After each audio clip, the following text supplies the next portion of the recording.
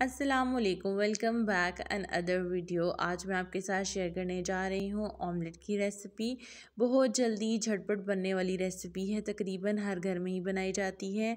Depend करता है कि आपके घर वालों को कौन कौन सी चीज़ें पसंद होती हैं कौन कौन से इंग्रेडिएंट्स पसंद हैं, आप उन्हीं का यूज़ करते हैं अपने ऑमलेट बनाने में। तो मैं बड़ा सिंपल सा ईज़ी ऑमलेट बनाती हूँ। तो सबसे पहले मैंने प्याज ली है। प्याज को ऑयल के अंदर ब्राउन करूँगी। ट्रांसपेरेंट कलर जब तक आता है तब तक जो है वो मैं इसको भूनूँगी। उसके बाद मैंने इसके अंदर शामिल किया है नमक और नमक के बाद मैंने शामिल की है तकरीबन आधी चम्मच जो है वो मिर्च की। डिपेंड करता है आप क्या क्या खाना चाहते हैं, कुछ लोग काली मिर्च भी ऐड करते हैं तो मैंने सुर्ख मिर्च का ही यूज़ किया है।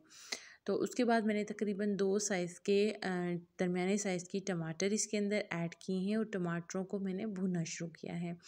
टमाटर को इसलिए भूनते हैं, एक तो इसका कच्चापन ख़त्म हो जाता है और साथ जो है वो प्याज, जो टमाटर का पानी है वो प्याज को भी ज़्यादा गलाता है।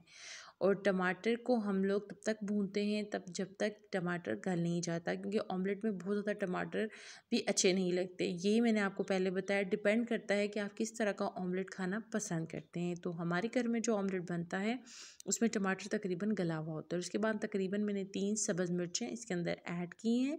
सब्ज़ मिर्चें अच्छी लगती हैं, ये मेरे पास जो सब्ज़ मिर्चें मैंने ऐड की हैं, ज़्यादा स्पाइसी नहीं है। ये ऑमलेट के लिए या सलाद वगैरह के लिए ही होती हैं। वो स्पाइसी खाना मैं नहीं नहीं खाती और मैं ना ही प्रेफर करती हूँ कि बहुत ज़्यादा बनाया जाए। और ये देखें टमाटर तकरीबन तकरीबन दम देने के बाद गल चुका है और देखें और कितनी खूबसूरत माशाल्लाह शक्ल भी इसकी आ गई है। और ये देखें इसको टमाटरों, प्याज और हरी मिर्च को मैंने भुना है। भुनने के बाद इसके अंदर मैं शामिल कर रही हूँ दो अंडे। डिपेंड करते हैं आप लोग कितने बंदों के लिए बना रहे हैं, जितने बंदों की क्वांटिटी होती है, फिर हम लोग चीज़ों को भी उतनी क्वांटिटी में ऐड करके मज़ीद बनाते हैं। मुझे तकरीबन तीन बंदों के लिए ऑमलेट चाहिए था और तीन बंदों के लिए ये ऑमलेट अनफ था। और उसके बाद ये देखिए मैंने माशाल्लाह इसको भुना शो किया, कितना खूबसूरत कलर इसका आ रहा है। और अंडे का भी जो कच्चापन होता है, वो भी ख़त्म हो जाएगा। और तकरीबन दो से तीन मिनट तक हम लोग भूनते हैं, क्योंकि नाश्ते में आप देखें कितना जल्दी जल्दी ये बन जाती है। और ये देखें इसकी माशाल्लाह फाइनल लुक आप काइंडली मेरे चैनल को सब्सक्राइब करें बेल आइकन को प्रेस करें, और ताकि मेरी नहीं आने वाली रेसिपी नहीं आने वाली वीडियो आपको मिले। अपना ख्याल रखिएगा। टिल देन अल्लाह हाफिज़।